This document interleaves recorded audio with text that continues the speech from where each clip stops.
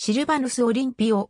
1961年5月21日シルバヌス・エピファニオ・オリンピオは、トーゴの政治家で、初代大統領。オリンピオは1902年ロメで生まれ、ロンドンスクール・オブ・エコノミクスで経済を学び、1926年、卒業するとユニリーバに入社した。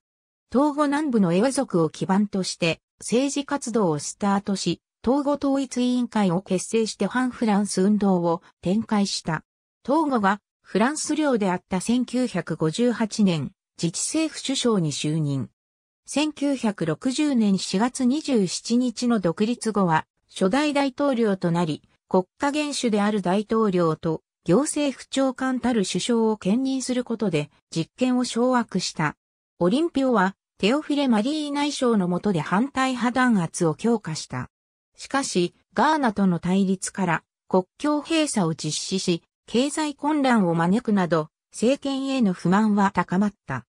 1963年1月13日、後に大統領として独裁政権を敷くこととなるにゃシンベエアデマ軍曹が参加する軍事クーデターで殺害され、大統領職はオリンピオのライバルであったニコラ・グルニツキー氏に引き継がれた。現与党東後人民連合政権に対抗する有力者、ジル・クリスト・オリンピオは、シルバヌス・オリンピオの息子である。ありがとうございます。